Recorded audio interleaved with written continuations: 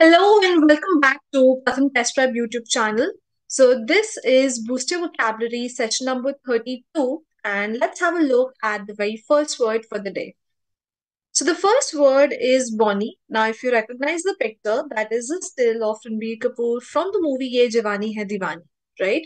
So if you look at the mnemonic, we can say something like Bunny from Ye Jawani Hai Diwani looks very attractive. The word bonny in itself means attractive and beautiful. Have a look at the sentence over here. It is one of several inns in the Lake District offering bonny accommodations and bountiful breakfasts. Now, first point over here, inns basically means the tiny little hotels that are there on every street in the city.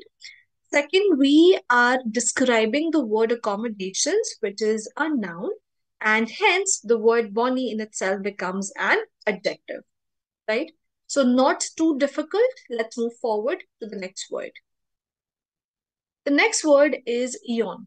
Now imagine something that goes just on and on, right? So it's been eons since I saw a movie at the multiplex. When you want to say that it's been eternity, that something kind of has been happening, or you want to describe something that is eternal, something that is never ending, to do that, we can use the particular word eon. So when you say it's been eons, clearly you're making it plural, which makes the particular word a noun. Again, uh, easy breezy word. So let's have a look at the third one. So the third word is shambles.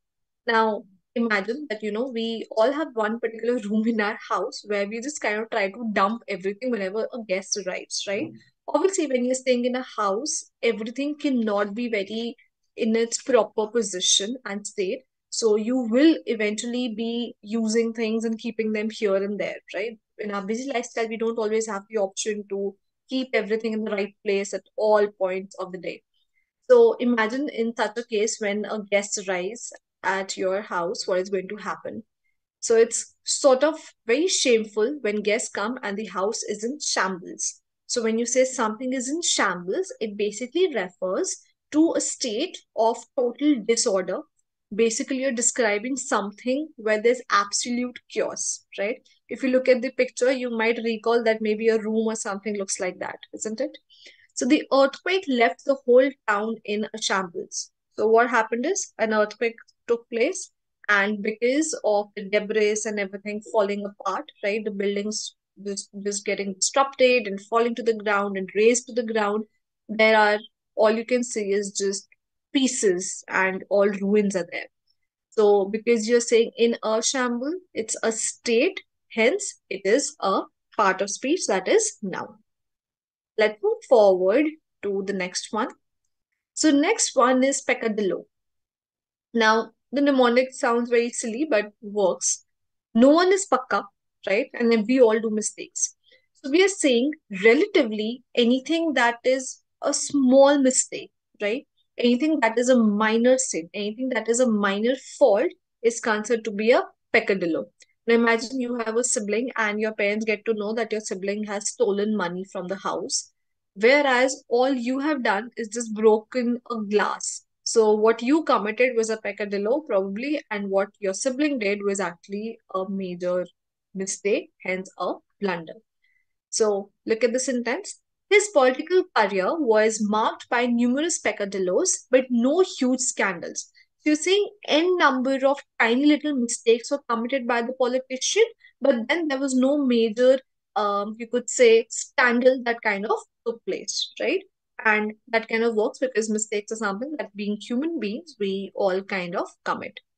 Now you're seeing numerous peccadillos. Numerous is an adjective you're describing something. So that something, peccadillos over here, becomes a noun. And proper way you could say this is majorly a common noun. The next word is ingenue. Now we all have seen Ye and Diwani. Remember the song that is shot during the entire uh, Holi festival thing, right? Balam Pichkari. So exact lyrics of that particular song are Balam Pichkari जो तूने मुझे मारी तो सीधी सादी छोरी चराबी हो गई। So if you look very carefully at the mnemonic a written on your screen you see तूने मुझे मारी तो इंजनू शराबी हो गई। So we have replace the word सीधी सादी छोरी with the word इंजनू। इंजनू generally refers to an innocent and a young naive woman So, two things what you have to be particular about over here is number one, you're talking about a young woman, and number two, the young woman is very innocent. It's not, she is not cunning, right? So, which means that you cannot use this particular word for a woman who is either old or for a woman who is very street smart and very cunning. So, both the adjectives are important in the meaning. Number one, innocent. Number two, young. And of course, woman. You can't use this word for a man. In her latest film, she plays the part of an ingenue. So you're talking about some actress who is movie acting in a movie and she's playing the part of a Sidi Sadi Chori, right? A young, naive woman. Now, since the meaning says a woman, that means you're referring to a person. Therefore, the part of speech again over here is a noun. I hope it is clear till here. I'm moving forward to the next word. The next word is hankering. Now, okay, two situations. Number one, that is already written on your screen, which says, on a hot day, when you're sweating, you will yearn for a handkerchief, right? So, imagine the day in the month of April, May, when it's extremely hot, 30, 40, almost degrees outside, right? And you're really sweating, and you do not have a hanky or a tissue to wipe off your sweat. Or, in other words, you have a terrible cold, you have a running nose, and you forgot to carry a handkerchief and you can't really even find any tissue papers, right? So, what are you going to do? You're going to yearn and just crave for a tissue to wipe yourself. So, hankering refers to a strong desire, right? But this strong desire is for something in particular, and that could be anything, of course, depends from sentence to sentence and your usage. So, a strong desire to have something it refers to your yearning for something, right? Your urge to get something. So have a look at the sentence. I have had a hankering for a pizza with olives all afternoon. So I've been yearning to eat pizza with olives on it throughout the afternoon. You have that craving, you have that yearning, you're just constantly um, waiting that all you can have is pizza in your day, right? Now, since we are saying a strong desire, a yearning, right? A hankering. So since we are using an article to describe something, hence the part of speech of the word hankering in this case also is a noun. Let's move forward to the next word, which is manacles. Now, manacles is like a combination of two words which says man plus obstacle, right? That means manacle. So, when we are restrained, what happens? Our hands are not free. So manacles refers to shackles, it refers to fetters, it refers to binding, bond. It could be sort of a bracelet, a chain, or also a band. Manacles prevented the bear from roaming beyond a very small area. If you recall this, in case some of you might have, I believe, a pet dog at home and you have tied a leash around the dog's neck, right? And what have you done is you have attached the leash to let's say to a particular door of your house. So what is going to happen is the dog cannot move beyond a certain area. So you're using that leash as a manacle as a way to prevent the dog from moving or roaming around apart from a tiny little area. And probably you have done that because some guests have come home and they're really scared of your dog. Right? So manacles prevented the bear from roaming around. It kind of refers to this chain or the binding material that you are using.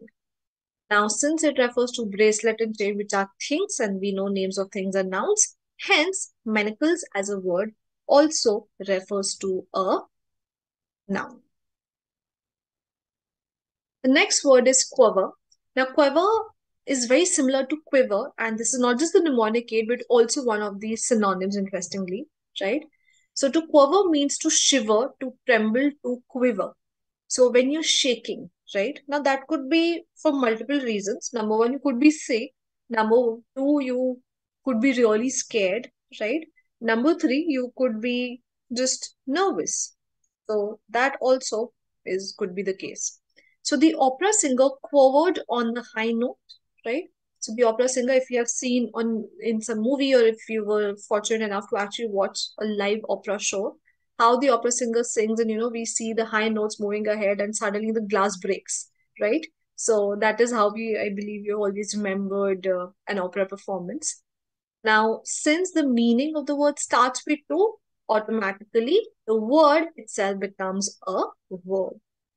So always remember to shiver, to quiver, to tremble, all are similar in nature. The next word is verve. Now, verve refers to opposite of being nervous, right? Now, just imagine that uh, you do not really want to participate in a certain competition, but your mother or your, let's say, your school teachers have forced you to do that. And now you're forcefully participating. You're extremely nervous, so obviously you're not going to be very enthusiastic to participate, right? Hence, verve is the opposite of being nervous. So when you have verve, you have that vigor, you have that enthusiasm, you have that zeal, that energy, and that willingness to do something. The actor plays the part of the superhero with tremendous verve and obvious enjoyment. So the actor loved playing the role of a superhero. Obviously, who would not like to play the role of a superhero, right? So he performs the role with a lot of enthusiasm, with a lot of energy, and hence it was displayed in his performance. Now, since enthusiasm and vigor are nouns, automatically verve being the synonym naturally becomes a noun. However, what you can remember is that this is basically an abstract noun because you can't really see or perceive it with any of your five sense organs. This is just like a human emotion that can only be felt by the virtue of being human beings. The next word is morsel. So morsel is like a combination of two words, which is more plus cell. Now, obviously, let's say you have 10 articles and you are able to make a huge sale today. You'll obviously be remained with very little quantity, right? So morsel kind of refers to a small piece of food. Now look at the sentence. The chef's cuisine is so good that diners will want to savor every morsel. So the dinner, the food was so delicious, was so palatable for the guests that what they wanted to do is they wanted to taste and eat every single bite.